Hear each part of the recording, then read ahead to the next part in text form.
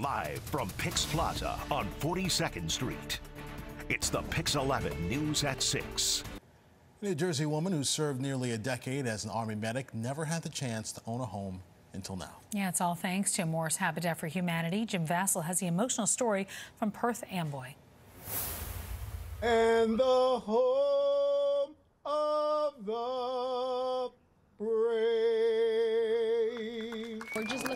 looking to it, making memories in our new home and growing old and celebrating with family and friends. Mylcaryz Moquette has accomplished so much in her nine years as a medic in the Army. Soon she'll be able to check off one more accomplishment owning a home. I imagine us cooking and gathering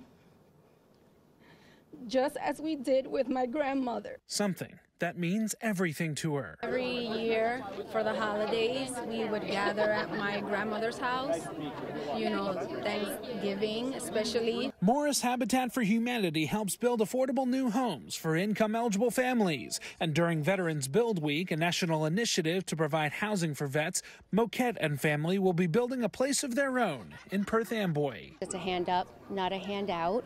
They have to help build their own home and do counseling but it is an opportunity for them to have an affordable mortgage, to own their own home, to have a piece of the American dream. Local and state dignitaries signed the beams of the home, sharing their well wishes. Officials say more than one and a half million veterans spend at least half their income on rent or their mortgage, showing a need for more affordable housing for vets.